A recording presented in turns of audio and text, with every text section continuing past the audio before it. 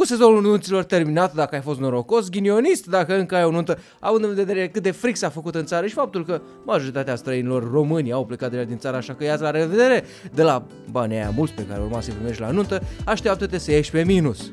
E bune, așteaptă-te să ieși pe minus. Este incredibil cât de mult au crescut prețurile meniurilor la nunți și când crezi că ai dat destul, te trezești că ai dat poate adecvat. Acest episod vine prea târziu pentru unii, încă de vreme pentru alții. O să fii surprins să afli minutele care urmează că mariajul nu a fost întotdeauna despre dragoste. Oh, șoc!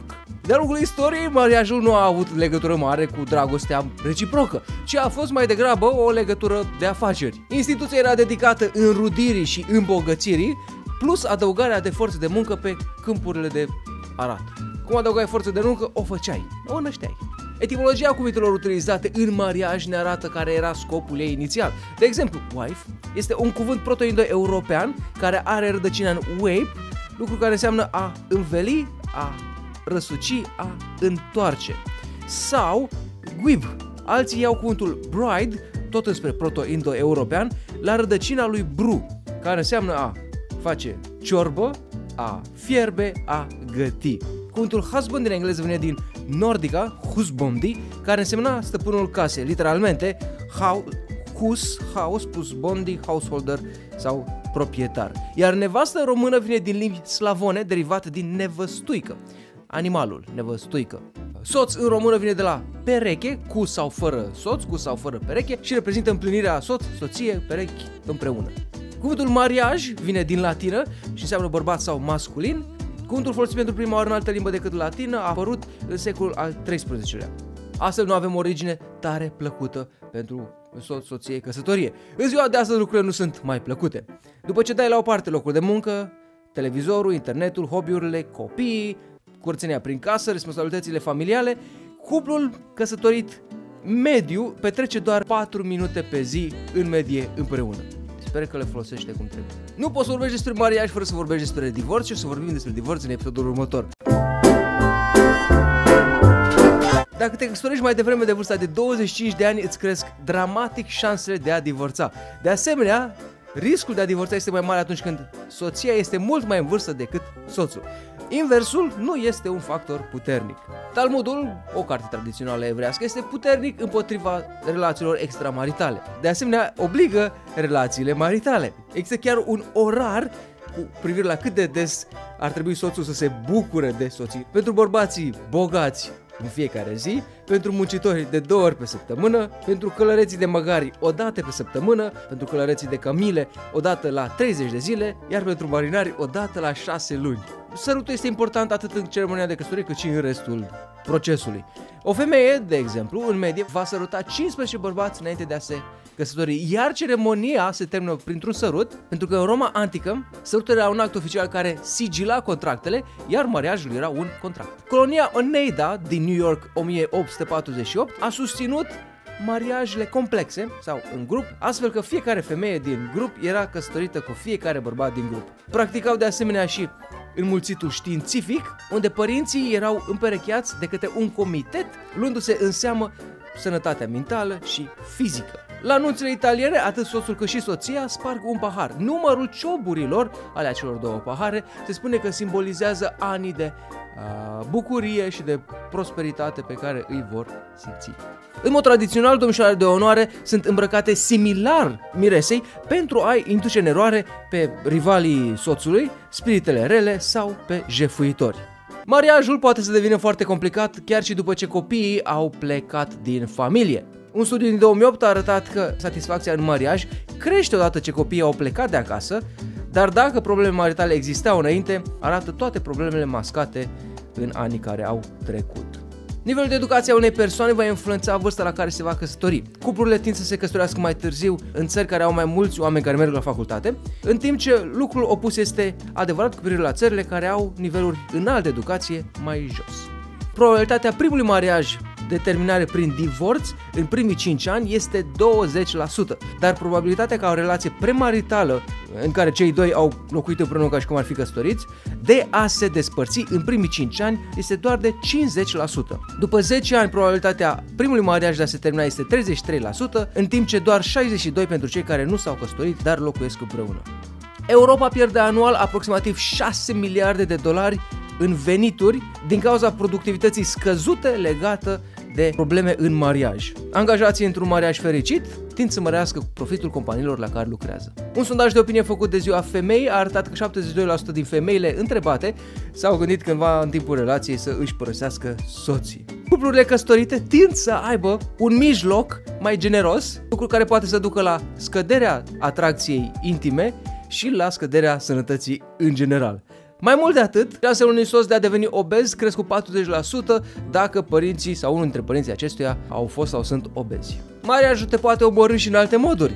Dacă ai cancer și mariajul tău se sfarmă în timpul tratamentului tău, șansele tale de supraviețuire sunt mai mici decât dacă erai văduv, singur sau divorțat, sau dacă aveai un mariaj puternic. În Grecia antică, Solon s-a gândit cândva să facă mariajul obligatoriu, iar în Atena, sub Pericle, burlacii erau excluși din anumite poziții publice. În Sparta, bărbații singuri sau fără copii erau tratați urât.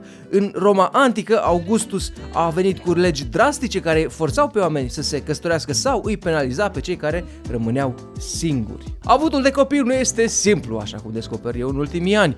Te poate face să te simți tare prost, dar măcar nu te simți prost singur. În timp ce cuplurile care au copii au mai puține șanse de a divorța decât cuplurile fără copii, venitul unui bebeluș nou este mult mai probabil să aducă și mai mult stres și distanțare emoțională decât mai multă fericire. Aproape 90% din cuplurile care au avut un copil au simțit scăderea satisfacției maritale după nașterea primului copil. Statistica interesantă arată că 25% dintre adulții care au avut cancer și au supraviețuit în copilărie vor să se căsătorească mai puțin decât restul oamenilor cu 20-25% mai puțin. Stresul asociat divorțului afectează sistemul imunitar al corpului și abilitatea acestuia de a se lupta împotriva bolilor. Beneficiile aduse de recăsătorire, a doua sau a treia oară, scad cu fiecare recăsătorire. Bărbat alb din New Orleans la sfârșitul secolului al XIX-lea și a făcut transfuzie de sânge de la o femeie de culoare pe care o iubea, pentru a putea să treacă dincolo de legile antidiscriminare, spunând că și el este de culoare și să se căsătorească cu ea. Un legislator din New York al secolului al XIX-lea insista că dacă le lași pe femei să dețină proprietate, îl atași pe Dumnezeu și natura însăși. Se estimează că doar la 2 ani după căsătorie, aproximativ 20% din toate cuplurile căsătorite se întâlnesc intim de mai puțin de 10 ori pe an. Pe an! De asemenea, una din trei căsătorii este cu puține sau deloc întâlniri intime. Numărul terapeuților de mariaj a crescut de 50 de ori între 1970 și anul 2000. În țările civilizate, aproximativ 50% din toate mariajele se termină prin divorț, 67% din cel de-al doua mariaj se termină în divorț și aproape 74%, 3 sferturi din mariajele numărul 3 se termină prin divorț. Totuși, mariajul promovează bucuria în viață mai degrabă decât banii, intimitatea sau chiar copiii. Comparații cu oamenii singuri, oamenii căsătoriți, strâng de 4 ori mai multe economii și bunuri, iar cei care divorțează au cu aproape 80% mai puține bunuri decât cei care sunt singuri. Ori ori. Spuneam mai devreme că după 2 ani 20%, veștile nu sunt așa de rele pentru restul lumii. În medie, cuplurile căsătorite se întâlnesc intim de aproximativ 58 de ori pe an, 54 de săptămâni în an. Gândiți-vă voi dacă e rău sau bine.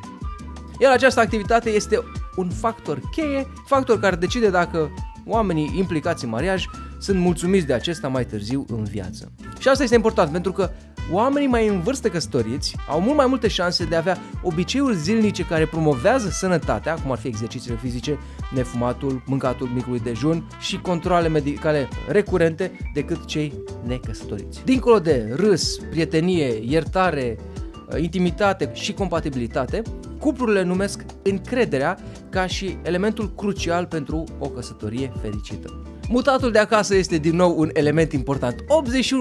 81% din cuplurile fericite spun că prietenii și familia nu se implică, n-au nimic de spus, nu intervin, nu interferează cu mariajul lor. În timp ce același lucru putea să fie spus de doar 30% din cei care se aflau într-un mariaj nefericit. Se estimează că 85% din cupluri au avut întâlniri intime premaritale. Aproximativ 60% dintre toți adulții căsătoriți au avut măcar o aventură extramaritală, iar în România cel puțin costul unei nunți este mult mai mare decât costul unui divorț. Cred că este vreo 900 de lei un divorț. Eram la notar să fac un alt act și am auzit pe altcineva uh, plătea factura pentru divorț. 900 de lei, destul de ieftin. În timp ce nunta, 10, 20 de mii de euro, alte cifre ridicole pe care le aud în jurul meu în zilele astea, conform codului lui Hammurabi, trebuie să facem un episod despre codul lui Hammurabi. Codul lui Hammurabi a fost scris în anul 1790 înainte de Hristos, este o lege babiloniană și conform acestui cod, la căsătorie, sexualitatea soției devenea proprietatea soțului ei. Codul lui Hammurabi conține cele mai vechi legi ale mariajului, iar aceste legi defineau mariajul sub forma unui contract ironic avea scopul de a proteja femeia și de a o restricționa. Conform codului, bărbatul putea să divorțeze de soția lui doar dacă aceasta nu putea să-i facă un copil sau dacă îl umilea pe soț în public și își neglija casa. De asemenea, putea să fie înghiontită într-un râu dacă îl înșela. În caz că te-ai întrebat ce ai făcut de ai supărat trebuie să știi că 7% din ceea ce comunicăm vine prin cuvinte, 38% vine prin tonul vocii, limbajul corpului este responsabil de 55% din mesajele pe care soțul sau soția le primește de la tine. Un studiu de 15 ani a arătat că nivelul de fericire a unui om înainte de mariaj era cel mai bun semn care putea să arate nivelul fericirii după mariaj. Cu alte cuvinte, dacă erai un ursus înainte, ești ursus și după mariajul nu te va face fericit peste noapte. Sau poate peste noapte, dar nu de Oamenii de știință au descoperit de asemenea un declin al fericirii după 4 ani de căsătorie și un alt declin al fericirii după 7-8 ani. Jumătate din toate divorțurile având cu precădere loc în primii șapte ani ai căsătoriei. Pe vremuri trebuia să ai aceeași religie pentru a te căsători. În ziua de astăzi nu mai este un factor atât de important. Doi din cinci catolici se căsătoresc în afara catolicismului. Există cel puțin 2 milioane de iudeo-creștini în Europa și Statele Unite ale Americii. Doi din cinci musulmani se căsătoresc cu non-musulmani. În ciuda acestui fapt, Oamenii căsătoriți merg de două ori mai des la biserică decât oamenii necăsătoriți. Jumătate din înșelatul emoțional, în care te destănui prea mult sau ai o legătură prea apropiată cu altcineva, doar emoțională, cu altcineva decât soțul, soția ta, se termină în înșelat cu totul. Cuplurile pun pe locul 3 împărțitul datorilor de prin casă, ca și al treilea, cel mai important lucru pentru mariaj plin de succes, alături de credincioșie și de relații intime împlinitoare. De exemplu, femeile care au spus că în casa lor sunt împărțite mai bine datoriile între ea și soț, au arătat că au căsătorii mai împlinitoare decât femeile care nu au crezut acest lucru. De asemenea, acestea au petrecut mai mult timp de calitate cu soților când au crezut că datorile din casă au fost împărțite egal. În aproximativ 40% din cupluri, cel puțin o persoană a fost căsătorită înainte. Aproximativ 60% din femeile și bărbații divorțați se vor recăsători, majoritatea dintre ei în următorii 5 ani de după divorț. Ordinea nașterii poate influența succesul unui mariaj. Mariajele cu cel mai mult succes sunt acelea unde surorile sau frații mai în vârstă se căsătoresc cu frații sau surorile cele mai tinere. Copiii care s-au născut primii în familie tind să fie mai agresivi și pot să aibă în mariaj un nivel mai înalt al tensiunii, iar nivelul cel mai mare de divorț apare atunci când un copil singur la părinți se căsătorește cu un alt copil singur la părinți. Din 1990 până astăzi, numărul bărbaților și femeilor care au vârsta de peste 65 de ani și locuiesc împreună fără să fie căsătoriți s-a dublat. Pentru multe secole, Biserica Catolică a spus că măsurile de contracepție erau un păcat și o făceau pe soție cu nimic mai bună decât o prostituată. Până în anul 1930, multe biserici protestante au fost de asemenea de acord. În secolul al XVII-lea, un soț din Massachusetts a fost pus în laț alături de soția lui care l-a înșelat și iubitul acestea, pentru că oamenii din localitate au spus că ea nu l-ar fi înșelat dacă el își împlinea obligațiile maritale. Există câteva caracteristici care au fost descoperite de-a lungul timpului prin studiu, care sunt legate de infidelitate. Dacă ești crescut într-o familie unde înșelatul era considerat normal, ai mai multe șanse dacă ai o personalitate care pune mai mult preț pe adrenalină și asumatul riscurilor decât stabilitatea maritală, avutul de colegi sau prieteni care cred că înșelatul este acceptabil și simțitul emoțional distant față de partenerul tău. Mariajul de același gen a avut loc de-a lungul istoriei cu mai multe niveluri de acceptare. Prima menționare a mariajului de același gen a avut loc în Roma antică și pare că a avut loc fără mare tam-tam. Asta cel puțin până când creștinismul a devenit religia oficială. În 1989, Danemarca a fost prima țară, creștinismul a fost instaurat, care a recunoscut mariajul legal de același gen. Lipsa legăturilor intime într-un mariaj are un efect negativ mult mai puternic decât prezența lui are un impact pozitiv. Tradițiile moderne maritale au rădăcini în tradițiile romane, uh, germane, iudee și de asemenea sunt legate de tradițiile bisericii medievale creștine, reformațiunea protestantă și mai târziu de Revoluția Industrială. Din fericire, nu toate aceste tradiții au funcționat. De exemplu, legea leviratului, conform Deuteronomului, spune că dacă cumnata ta, adică soția fratelui tău, a rămas văduvă, fratele tău a murit fără să aibă copii, un băiat care să aibă grijă de ea, ești obligat să o iei de nevastă pentru a-i da un copil. Același lucru uneori este interzis de aceeași Biblie conform Levitic. A, asta a fost tot pentru astăzi. Spuneți în secțiunea de comentarii dacă sunteți într-un mariaj bine mersi și fericit. Dacă v-a ajutat acest episod să vedeți mai bine care sunt probleme care pot să apară de-a lungul timpului și dacă puteți să le dați la o parte. Vă recomand, este o carte tare faină, am cumpărat-o recent, stați să mă duc să o aduc. The sky turns gray against a fiery display of red and golden hues like the day I fell for you.